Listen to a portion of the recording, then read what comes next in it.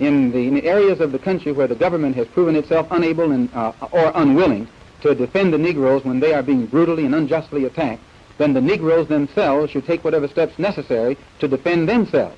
And one of the best methods by which this can be done is to establish rifle clubs. It's legal in this country to own a rifle. This does. And that's something that he I didn't get to get to play from his um from his little uh tirade was you know him coming against guns.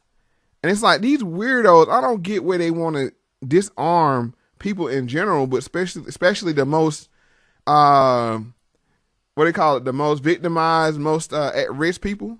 Thank you, GBG. Exactly. It's amazing how they want to disarm the most vulnerable people. And by by their definition, by their definition, the most vulnerable people, they want to disarm you.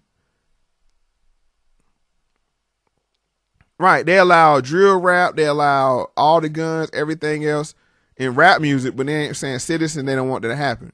And it's saying, and this brother Malcolm is speaking on this right now about what we need to do about him saying forming our own rifle clubs and things of that nature. Then the Negroes themselves should take whatever steps necessary to defend themselves.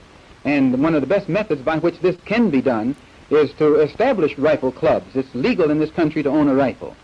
This doesn't mean that the Negro is going to initiate some kind of aggressive action among any, uh, against anybody, but it does mean that the Negro will be serving notice that no longer does he believe in turning the other cheek and being the constant victim of someone else's brutality. And the reason why I play this clip is to let you know that once we start arming ourselves for a defense, um, then you have no need to be scared because either you're going to protect your life, but at least you have a fair shot at it. And this is why they want to keep black people as far away from guns as possible.